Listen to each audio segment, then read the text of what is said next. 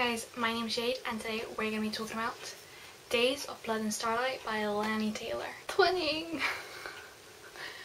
this actually took hardly any time compared to how long Daughter of Smoke and Bone took me. I don't know if you've noticed but I really like this cover. I think it's really really really pretty.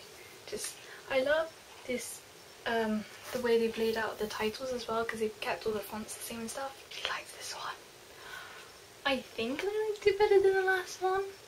I'm gonna give this one 10 out of 10. It is a continuation from Daughter of Smoke and Bone if you want to know what that one's about. Um, I would go check out my first one and watch the non-spoiler section so you can get a feel for what it's about. But I'm gonna be talking spoilers from now on, so if you haven't read the book, I would suggest you leave. Okay, so I really loved the whole kind of vibes and the atmosphere of this one. The whole desert thing, um, it just kind of created a really fond memory. It was very kind of grungy and rustic and magicy and awesome. Oh my god. When we found out that she was working for Thiago? Thiago, I still don't know how to say that. I'm gonna say Thiago because Thiago sounds weird. When I found out she was working for Thiago, I so mad. Why why would you work for him after all that's happened? And I think once everything was explained it's fine, but just oh at first. Not happy.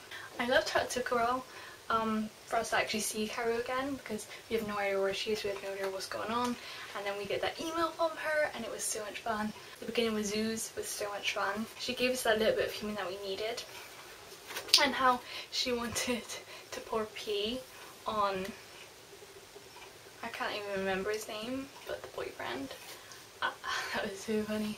It was just such a humorous and interesting uh, beginning to the book compared to the tenseness and chaotic and scariness that the rest of the book will be. And how um I really loved that Caroline gave her clues and then Zuze made it her mission to find Karou and she would stop at nothing.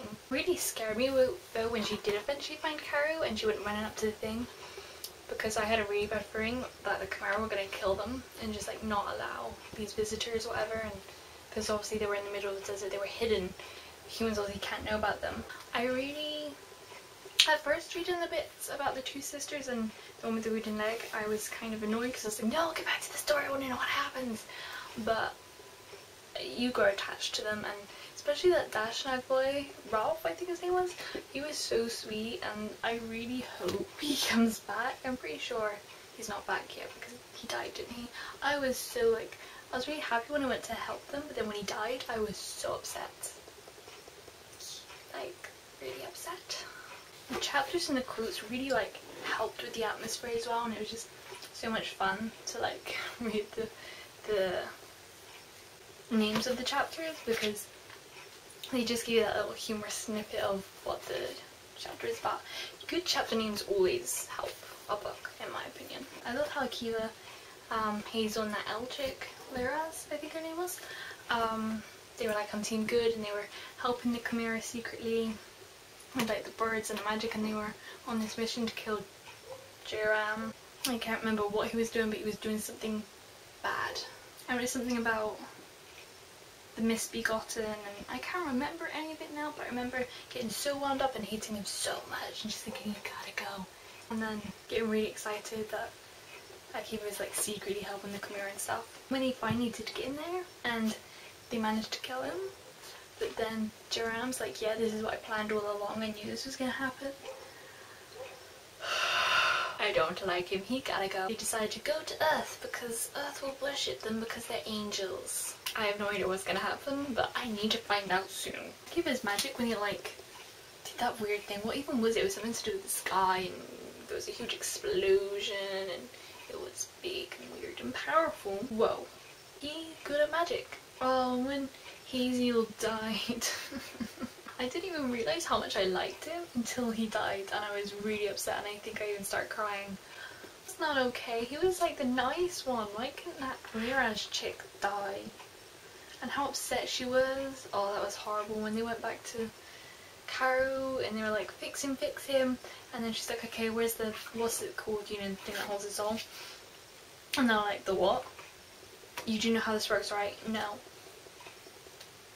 Oh back to how Zuze and Mik joined Karou. I loved it when he was playing the music and everyone was dancing and it was like they became friends. It was so like I remember them wandering off and being so mad at them because it could be so dangerous. But then they ended up like being friends with Chimera and it was so much fun. They're just too cute, those two, and I loved how she was talking about how she's going to tell grandkids that she can go invisible and like all these adventures she's been on and then they're not going to believe her so she's going to have to go invisible and scare the hell out of them just to prove herself. I just was so mad that she was working for the wolf. I remember when she dropped the tooth down the floorboard and she's like, well I could go get that but I'm not gonna. And then he knocked on the door like two seconds later with the tooth. Oh, and how he was wanting to teeth her. I genuinely believed that he felt bad and it was like, actually, you know what? You're strong, you're powerful, I want you on my team. And that he actually liked her and like maybe even loved her. and then I remember being so mad when I found out he was lying to her and that he really was telling everyone how wary to be and ugh. And 10, oh my god, I hated her. Just because you can't take rejection. Oh, Ziri, I forgot about him. It was so hard because there's Ziri and there's Akiva and like I love them both. And like Ziri was just so sweet and so nice and I can't decide because deep down I know I want her to be with Akiva but then Ziri like I really like them as well and just mm, it's not fair. It's not fair. This love triangle dude. And how he's in the wolf's body they need to tell Akiva because he's like you like the wolf now and like I feel so bad for Ziri for having to go in there I was so confused when because when the wolf first came in and started agreeing with her, I was like, you seriously brought him back to life after all that? Because I seriously thought she did. And then slowly we learned about the plan and like it linked back about how she was digging all night and things like that and just genius. I feel so bad for him because she's worked so hard to get his body. His, the, he came back all blooded and horrible. Oh my god, that was so horrible. And she's like, no, I can fix him, I can fix him, leave me alone. But he killed the shadows that lived. People were starting to join her because they realized she was right. And then, so people do like her. He went and killed them all, so surely they could tell people that, you know, she, he tried to kill her. And so, then I guess some of them would, I don't know, it's just a big, tough situation. Those people underground have to come up, God knows how, but they can't stay there. I mean, think of how many more people they would have and they could fight so much more and be so much more productive and like the majority of the problems would be solved. They need to get them up. However, there are angels on Earth, so I think that's going to be, you know, pushed back a little bit. and they're just, they're coming together, and they're in the cave, and the look, she was looking at him, and he was looking at her. Oh, oh, oh, this whole angels versus devils situation. Need Akiva and Karou to come back together, but now at least they're working together. The group of the Misbegotten, I think it was, and what's left of the Chimera. And they're in Eretz again. I have no idea how Earth is going to react to the angels. It's either going to be we will worship them, or it's going to be we're going to hate them all and kill them all and be really suspicious. I'm hoping it's the second one. There's to be some kind of war between those angels and the rest of them. I loved how she like learned to be a resurrectionist as well and we got to see her get stronger and she's carrying on Brimstone's work and just so proud. When she found the thingy the the you know the the the, the, the, the jar thingy and it had what's her face in it? I for whatever reason and it was like it said Carol on it and I like oh, I genuinely thought it was Brimstone. Like because like hope like he could come back and it wasn't and Brimstone's actually dead and I can't believe this. He better come back in the last one. Very upsetting as well when she was like waving to Ziri and he was just like ignoring her because he had to because that's what Diego told him to do. And she was like oh I guess he doesn't like me the last of my kind and Oh, it was so cute how she felt we protected of him because he was the last of her kind. It's really weird how like Karou had lost her hope that the world can be you know, they can be reunited, yet Akiva had his again. So we can assume that in the next book, either they both have belief or neither of them have belief. And isn't that just wonderful? Pretty much all the fight scenes between the angels and the Chimera, like, however they were, or whatever the reason, they were always got me really tensed up because I don't know who I want because obviously I don't want the angels to all die because Akiva and all, all the good angels. But then we can't have the Chimera die either, so it's, it's real hard because like there's not a side you can pick. Neither of them is good. It's not like it's not traditional. It's just oh oh it's so hard.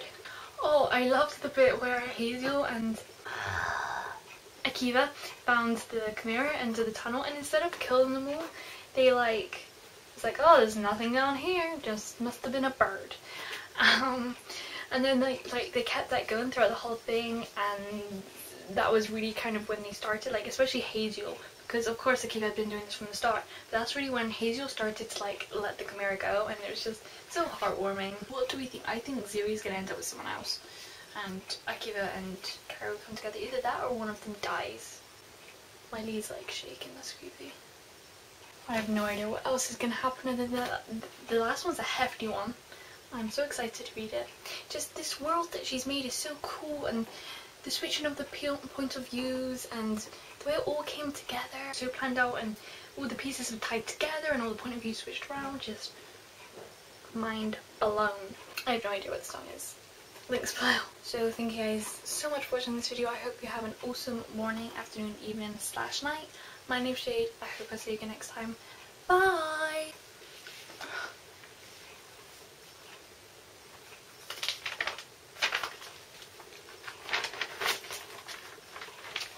I was so mad that she was walking bur burden. I heard footsteps and that was really creepy.